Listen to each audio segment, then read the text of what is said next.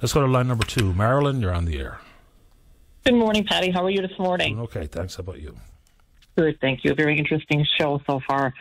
Um, I just want to talk about the recent floods on the Port au Port Peninsula and uh, how it pertains to this proposed project that World Energy GH2 is uh, wanting to put, you know, over our heads.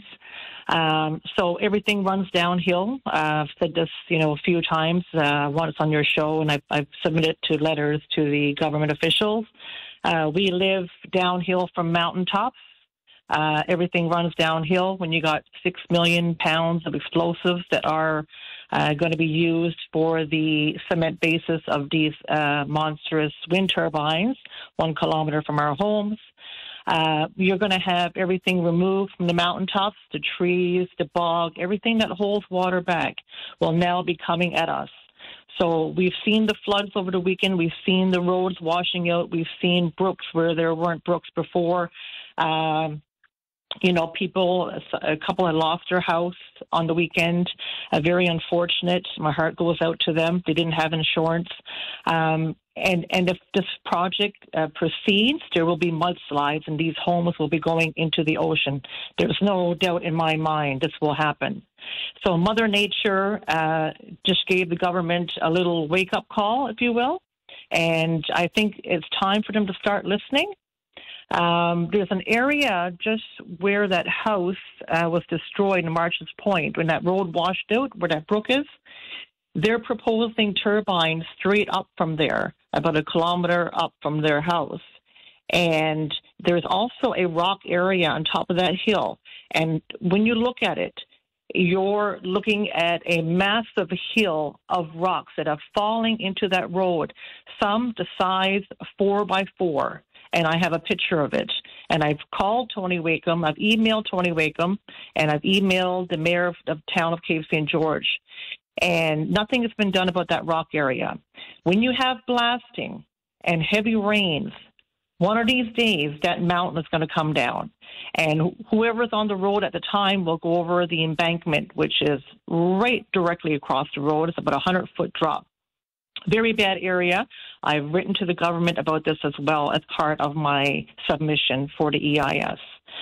Um, next, I'm going to go on to EnviroWatch. They did an online wind forum on March 19th. Patty, were you able to listen in on that? No, I wasn't. I was tied up. But let me just before we move on to EnviroWatch, yeah. are you saying yeah. that the landslide related issue? Is related to wind projects because of the clearing of land to accommodate the turbines. Is that the link you're making?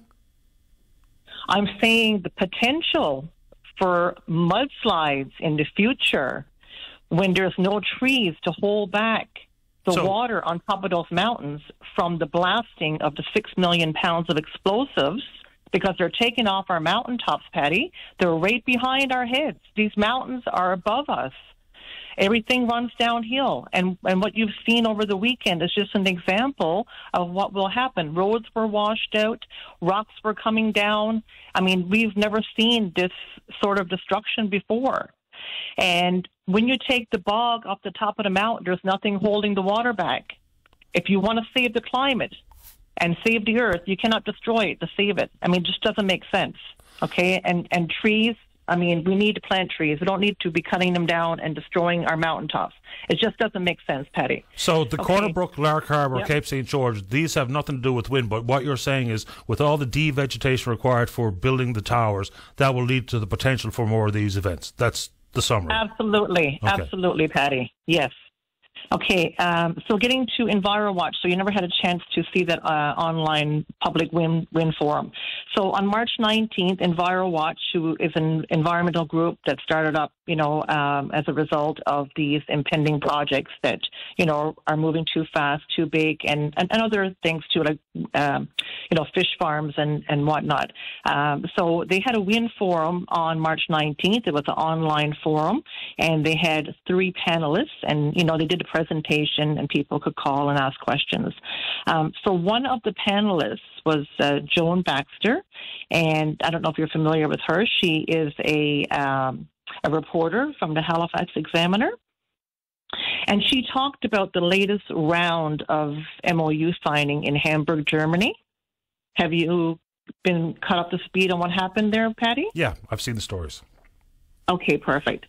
So um, the gist of it was, um, you know, there were no offtake agreements signed, um, no offtake contracts signed at that particular uh, conference.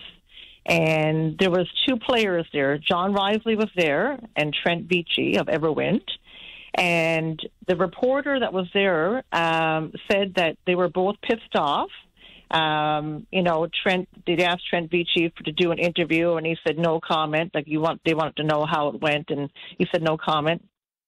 And John Risley was complaining about governments. So both of them were pissed off. So they came out of there obviously not happy with, with the way things went.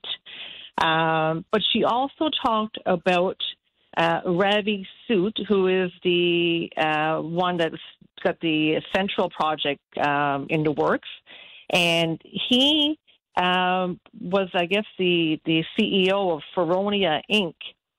And she said he has a very bad reputation as far as human rights violations go, and land grabs and everything else that goes with it. Yeah, but we so, have control here. You know what he's done well, elsewhere I, I hope, is not really. What? I hope. But but what what are what are the common theme was with these three and and the projects proposed was that these three gentlemen were subsidy uh, harvesters. So this is subsidy harvesting projects. I mean, Ravi's from Hong Kong, and he's over here following the money. And when we first met John Risley at, at, at the meeting in Cape St. George on July 6, 2022, he was there and he said, I will not be using any government money for this project. This is all going to be my money and our money, but this you know, no, no, no provincial or federal money will be involved. And now it seems like the man cannot move without the subsidies from the government. So we, have done a total U-turn here, and and that is, you know, it just goes to show his character. Now, um, the second panelist was Robert Loader um, from Central. Let's just add and, to Mr. Risley's comments yeah? there for a second, okay. though. So okay. you're right. He said, I'm not going to take uh, any government right. monies, but there was always in play at the exact same time the access to tax subsidies federally. Now, we still don't know how that's going to work. There's no firm definition of green because a project, a wind project in Nova Scotia, is nowhere near as green as a project in this province. Why? Because we've got about 80% renewables versus in Nova Scotia, they've got somewhere in the neighborhood of 50. So they should not qualify for the same tax subsidies. Hopefully that definition is very tight because it's the difference between 15% and 40% tax breaks from the federal government. In addition to that, Mr. Risley did ask for and get a $128 million line of credit that is different than a upfront loan because he can use it when he wants and doesn't have to go back to the well time and time again, but it's still $128 million. So you're right. He said we will not be getting that money. He never mentioned the tax subsidies, even though we all knew that they were in play. But yes, 128 mm-hmm. million dollars is the number. It's all about the money, Patty. They're not here to, to do any, do us any favors. Trust me. So Robert Loader, um, another panelist from from Central, um, this, he was from Point Leamington, and he talked about the proposed wind farm in his area. And what was interesting, and it kind of set off a bell for me, is when he talked about the mayor from his area who wrote a letter of support for the project before the people even knew anything about it. So same situation as us. And then the community, once they found out the size and scope and everything else to do with this, this wind farm, wanted him to resend his letter of support until they, you know, could gather more information, have more consultations, etc. And what the mayor said to him was, you know, I won't be doing that. Uh, this is a done deal. And if we're not at the table, you know, we're not going to get anything. Now, the phrase a done deal, we've been hearing this from day one. And I can tell the people of Newfoundland and Labrador that this is never going to be a done deal if you don't want it to be a done deal. They tell you this is a done deal, so you get on board.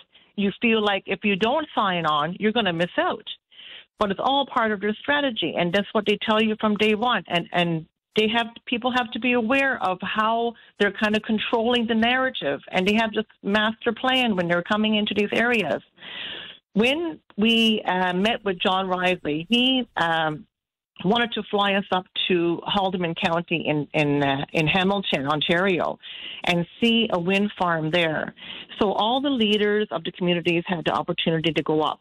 Now, by the grace of God, I had COVID, and I didn't go. And I and you know what? I thank God I didn't go because when the mayors came back and the leaders of the communities, most of them were quiet. They were so quiet it was eerie and I'll tell you why. We were part of what was called the Port Port um, Vibrancy Fund. Um, it was called something else in the beginning, but then it, it turned into the, the, the, Vibrancy Fund in the end because they didn't want anything to do with the environment side of it. So I dropped off of, of that uh, committee because I didn't want to be a part of something that was going to destroy our peninsula. Okay, I'll but just give you the, a couple of more seconds yep. to wrap up your thoughts, Marilyn, because oh. I'm late. Okay, well, I, I, won't go into that. I'll just say that, you know, um, as a part of the agreement in Haldimand, they weren't allowed to, uh, they had to remain neutral to receive any funds from this project. So they can't talk for and they can't talk against wind farms. They have to remain neutral. And if they don't, they won't receive any money. And that's why you don't hear from the mayors on the peninsula about this. They don't speak out about it. They're not allowed to. So they're dummied up. Uh, I will say this is too close of a relationship between the government, John Risley, Andrew Furey, Gudie Hutchings, uh, Brendan Paddick, uh, George Furey. These people are all in bed together. They have been from day one. John Risley's been, um, you know, uh, okay. lobbying the government from day one. And one more thing, Patty, and this is very important, very important. Article 28 of the United Nations Declaration of Human Rights. We have the right to live in peace. And that's all we're asking for. Okay? I appreciate your Thank time, you Marilyn. Thank you for the call. Okay, you too. Okay, okay bye bye. Uh, let's take a break. Don't go away.